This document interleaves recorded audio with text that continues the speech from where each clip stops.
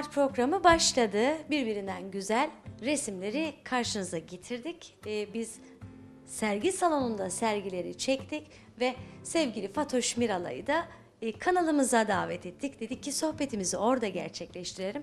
Hem orada oluyor hem burada oluyor. Şöyle yakalamışken hemen sevgili Fatoş'u yanımıza aldık. Çok teşekkür ederiz. Kırmadın. Çok yoğunsun biliyorum sergi konusunda sevgili Fatoş. Ama şunu sormak istiyorum.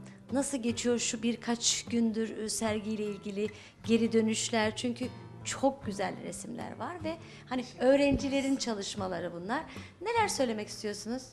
Ee, ilk kez dışarıda bir sergi açtık. Öncelikle onu söyleyeyim. Ee, bütün e, güzel sanatlar fakültelerinde, e, konservatuvarlarda e, her zaman bizim yaptığımız işleri sergilerle veya performanslarla e, gösterebiliyoruz yıl sonunda. O yüzden e, bu bir gelenek.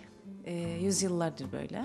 Yüzyıllardır demeyelim. e, güzel sanatlar doğduğundan beri böyle bir sergilenme ve performans her zaman vardır. Biz bizim Atatürk Eğitim Fakültesi'nde, e, Yakın Doğu Üniversitesi Atatürk Eğitim Fakültesi'nde zemin katımızda zaten resim iş öğretmenliği bölümünün bir ha- hazır sergi salonu bulunmakta. E, 2-3 yıl önce sergi salonu biz kendimiz kurduk öğrencilerimizle birlikte. Ee, Her zaman yaptığımız tüm sergileri, bitirdiğimiz tüm işleri e, yıl sonunda okulumuzda sergiliyoruz. Daha sonra bunu e, artık e, jürinin ve öğretim görevlilerin kararıyla dışarıda veya işte ilerisi için daha farklı planlar yapıyoruz.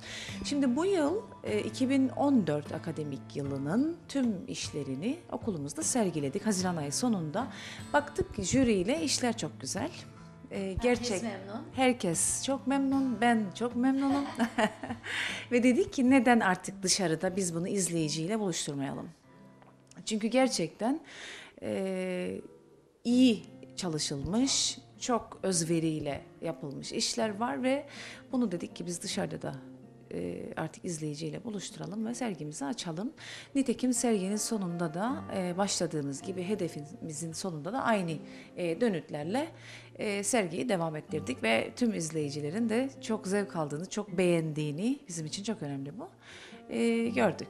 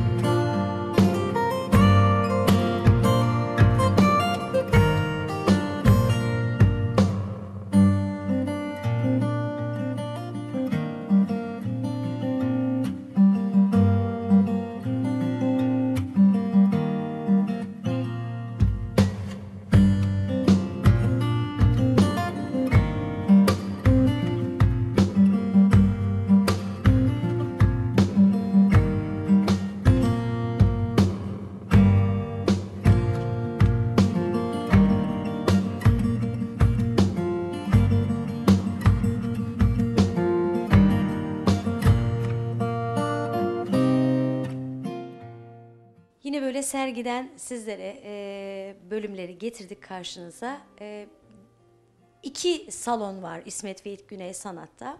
E, sergi salonunda e, ilk bölümde e, yanılmıyorsam 3. ve 4. sınıf öğrencilerin girişten itibaren olan Aslında salonumuzda karışık yani şey ağırlık olarak- onlarda e, değil mi? Evet yani şimdi e, tabii ki bir 2014-2015 akademik yıl olduğu için 2015-2016 akademik yıl öğrencilerin işleri yok. Onlar çünkü daha yeni öğrencilerimiz. O yüzden 2015'e kadar olan e, ikinci sınıf, üçüncü sınıf ve dördüncü sınıf öğrencilerin işlerini sergiledik. Zamana de, dair diye de e, isimlendirdik. Neden onu da açıklayayım size. Lütfen.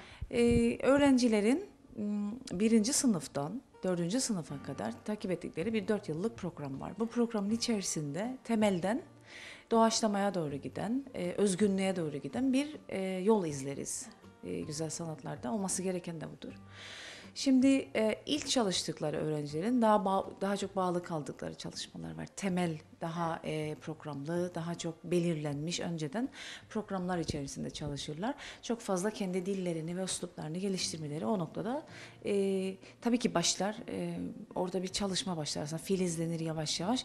Daha sonra dördüncü sınıfa doğru daha özgün ve kendini bulan, kendi dilini oluşturan, kendi uslubunda kendini ifade eden öğrencileri görürüz. E, dördüncü sınıf e, 2016 dördüncü sınıf e, öğrencilerimizin evet yani o 3-4 tane öğrencimiz var onların o noktaya kadar gittiğini görebiliriz. Yani bir zaman dilimi vardır. Hani zaten e, sergide e, kayda alırken e, çalışmaları sergilerken bazılarını e, şu çok farklı dediğimde artık son sınıf öğrencisi dedim. Yani hepsi çok değerli. Hepsininki çok güzel. Hatta Bana e, sorarsanız en değerliler ilk yaptıklarıdır. evet bunu Çünkü evet söyledim. söyledim bunu. Benim için en değerli ilk yapılan işlerdir. Ondan sonra zaten temeli aldıktan sonra siz o temel oturduktan sonra iyi bir şekilde o sanat disiplinini aldığınız zaman onu artık başkalaştırmak çok daha kolaydır. Onlar onu yaptılar. Evet ama eğer temel eksikse e, temelin üzerine kurmak çok zor ve yıkılıyor zaten.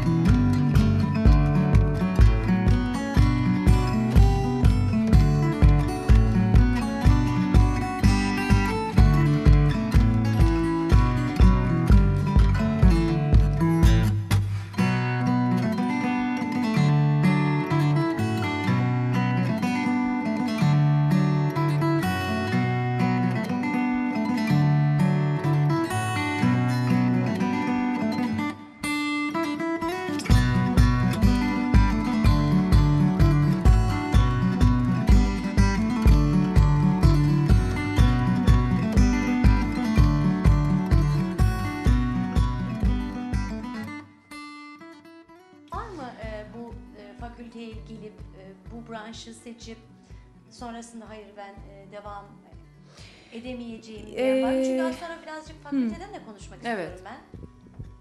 Şimdi eğitim fakültesine bağlı e, güzel sanatlar eğitimi dikkat edin orada bir e, şey var altını çizelim onun.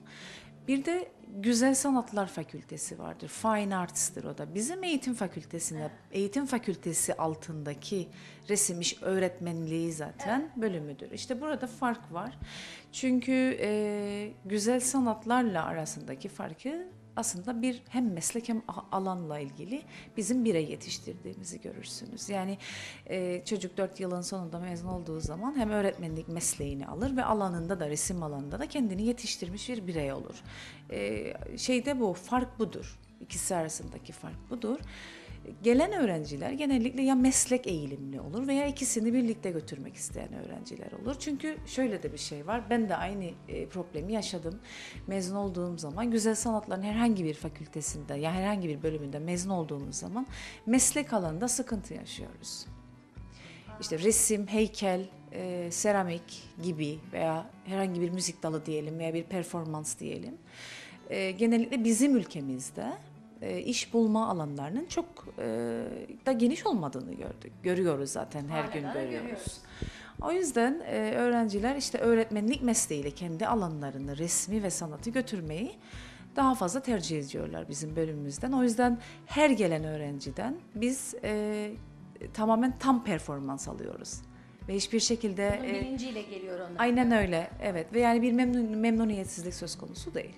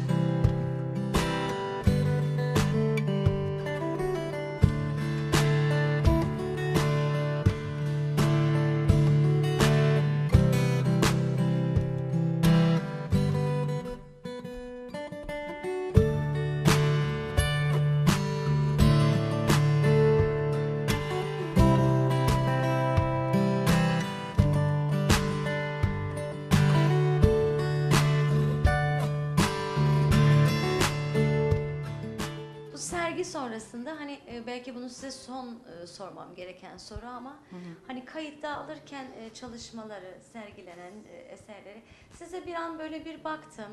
O kadar bir huzur var ki şey şu şöyleydi, şu şöyleydi. Hani e, çocuklarınız çünkü hani arkadaşlarınız, çocuklarınız ve sizin yetiştirdiğiniz ve her biriyle gurur duyuyorum ben dediniz. Kesinlikle. Hani kademe kademe aşamalarını da nereden nereye Nereye geldiklerini takip ediyorum takip ben. ettiğiniz için Evet. e, nasıl bir duygu? Ee, şimdi davetiyeler basıldığı zaman biz her yıl ben e, sadece e, örgün eğitim evet olacaktır üniversitede o mutlaka mutlaka onu almaları gerekir ama e, sanatla uğraşıyorsunuz eğer biraz insanlara dokunmamız gerekir konulara topluma da dokunmamız gerekir yani bir odanın içinde bizim doğamıza aykırı bu bizim bölümümüzün o yüzden her yıl, evet her yıl bizim en az 2-3 kez etkinlik yapıyorum ben dışarıda herhangi bir konuya. Geçen yıl engellilerle ilgiliydi. Biraz daha fazla sanatın yoluyla dikkat çekmek için.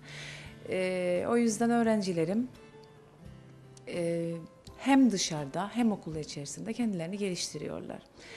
Davetiyeleri dağıtırken şey herkes soruyor siz mi sergi açıyorsunuz? Yani ben uzun zamandır sergi açmadım. Çok uzun zamandır çalışmadım. Ee, yok maalesef benim değil diyemiyorum ama çok büyük bir gururla öğrencilerimin sergisi. Bu çok farklı bir şey. Sizin öğrencilerin sergisini e, Davetiyesini dağıtmak.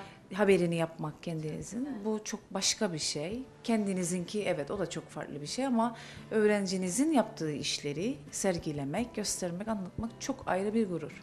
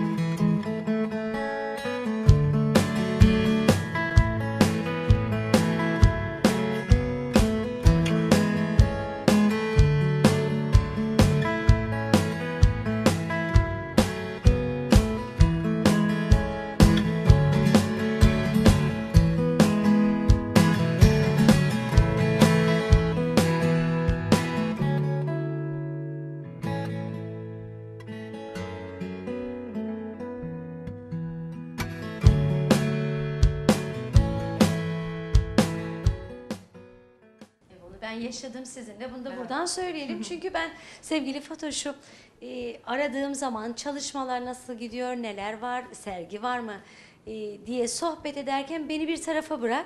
Şu tarihte öğrencilerimin sergisi açılacak. Evet, geçen ay Bu- konuştuk Evet, bunu. geçen ay Bir konuştuk. şey var mı diye konuştuk. Yeni Evet, bir şey var mı? Yok bir şey- beni bırakın. Evet, Ve öğrencilerin öğrenciler. var dediniz ve geç ve çok da beğeni kazanan bir sergi oldu. Serginiz Çok mutlu olduk zaten sonunda. Yani aldığımız eleştiriler çok olumlu. güzel. Ee, tabii olumsuz taraflarını da görüyoruz böyle. O da çok önemli benim için. Yani Bir sonrakine onu Evet. kapatmak adına. evet çünkü sadece olumlu tarafları değil, olumsuz eleştiriler de. Yapıcı eleştiriler eleştiri, diyelim ona. evet. Biz olumsuz demeyelim. Onlar da çok önemli bizim için. Çünkü daha fazla önümüzü görebiliriz o, o zaman.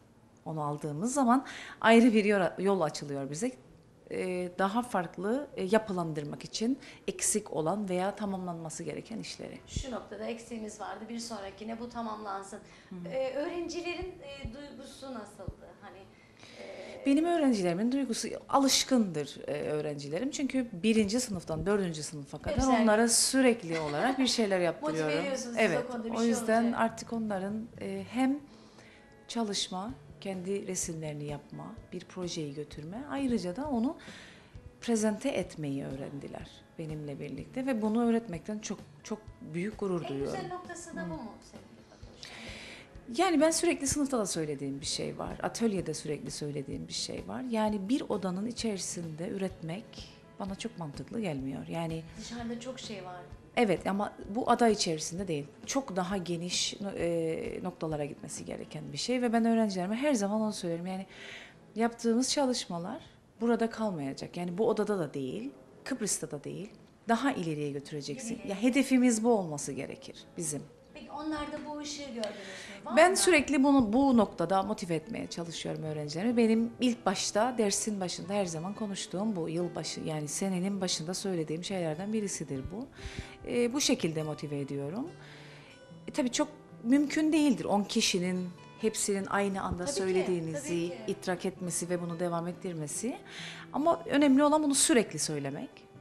Mutlaka aralarından görüyorum ben zaten e, dördüncü sınıfın sonunda, üçüncü sınıfın sonunda mutlaka aradan bunu alıp e, kendine e, kendine ile birleştirip Evet. kendi içine çekip bunu devam ettiren önemli. Evet. isteyenler var aralarında. Görüyoruz evet. E, bundan sonraki proje okulla ilgili e, düşünceleriniz, yeni çalışmalarınız tabii ki devam ediyordur. Her gün bu çalışma sonu yok. Her gün devam eden bir çalışma var. E, Yani şimdi s- evet standart çalışmalarımız vardır ki yani yıl sonu sergilerimiz her zaman devam edecek. E, tabii ki bunu farklı grup projeleriyle yapabiliriz. E, bunlar devam edecek. Bir de mezuniyet sergimiz olur. E, Haziran ayında da onlar olacak. Evet, güzel bir sergi demek ki Haziran ayında yine e, bize ulaşacak. E, ben yine aradı, aradığım zaman seni herhalde Haziran'ı bekleyelim. Ö- Öğrencilerin sergisi diye. E, ben çok teşekkür ederim. çok teşekkür yoğunsunuz. Biliyorum hani sergi salonu, okul sürekli böyle gidiş geliş var ama kırmadınız. E, Ben kanala teşekkür geldiniz. ederim. Hem bu güzel sohbeti yaptık hem e, sergiyi konuştuk. Daha nice nice böyle değerli sergilerinizi konuşalım. Var mı son olarak söylemek istedikleriniz? E, yine ben eğitimle bağlamak isterim e, son olarak. E, Kıbrıs'ta birçok e, yeni mezun, liseden mezun birçok öğrencimiz var. E, ben her zaman e, keşfettikleri zaman e, sanatla olan bağlarını bunu bir şekilde ileriye taşımalarını ve fırsat olduğu zaman eğitimle birleştirip, eğitimle pekiştirip bunu bu şekilde, e, bu yolda devam ettirmelerini tavsiye ediyorum. E, Tabii ki farklı atölyelerde zaman geçirmek için çalışmalar, farklı işler yapmak için bir takım şeyler yapıldığını görüyoruz ama öğrencilerin özellikle meslek seçimlerini en iyi şekilde yapmalarını, en sağlıklı şekilde karar vermelerini ve doğru e, akademik Güzel, ortamlara girmelerini, evet bunu. Hı hı. Çok teşekkür ediyorum. Daha nice birliktelikler sizlerle. Teşekkür ederim. Evet Simart programının sonuna geldik. Bizler sonuna geldik sohbetimizin ama e, sizleri e, o sergideki o güzel e, resimlerle de baş başa bırakıyoruz. Haftaya bakalım kimlerle neler konuşacağız Simart programında. Hoşçakalın.